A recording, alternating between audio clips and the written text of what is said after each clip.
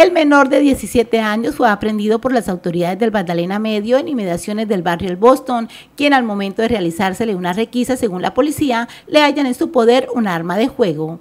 Gracias a la información oportuna de la comunidad en el barrio Boston, en inmediaciones de agua de Barranca Bermeja, se logra la aprehensión de un joven de 17 años, quien al practicarle el registro a persona, se le halla en su poder un arma de fuego tipo revólver marca Magnum 357. Cabe notar que esta arma es de alto poder letal, a diferencia de las otras armas del común. Las autoridades también dieron a conocer que el menor al parecer es utilizado para realizar acciones delictivas en la zona. Según informaciones de la comunidad y de los propios familiares, este joven estaría siendo instrumentalizado para cometer varios delitos, entre ellos el hurto y el expendio de estupefacientes.